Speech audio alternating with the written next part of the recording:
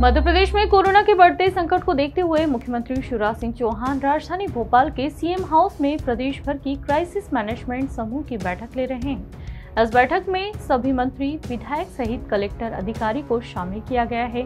Video conferencing के माध्यम से इस बैठक में केंद्रीय मंत्री ज्योतिरादित्य सिंधिया भी मौजूद हैं। मध्य प्रदेश में बेकाबू हुई कोरोना संक्रमण की रफ्तार के बीच मुख्यमंत्री शिवराज सिंह चौहान आज क्राइसिस मैनेजमेंट की बैठक ले रहे हैं, जिसमें उन्होंने कहा कि कोविड के तीन दशमलव तीन प्रतिशत मरीज़ ही एडमिट हैं, चिंता नहीं करना है, लेकिन असावधान भी नहीं होना है, व्यवस्थाएँ बेहतर बनाए रखें। इस लहर में सबसे ज़रूरी है होम आइसोलेशन होम आइसोलेशन में सावधानी के प्रति जागरूकता फैलाएँ। सीएम शिवराज ने प्रदेश में टीकाकरण की स्थिति की जानकारी ली।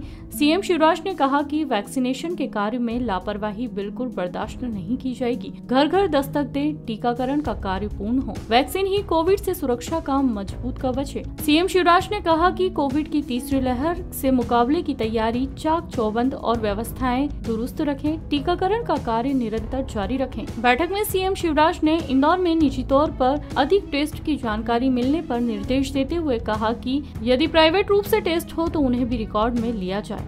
मधुभाषी के लिए भोपाल से मोहम्मद ताहिर खान की रिपोर्ट।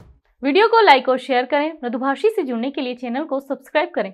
खबरों के नोटिफिकेशन के लिए बेलाइकन दबाना ना भूलें।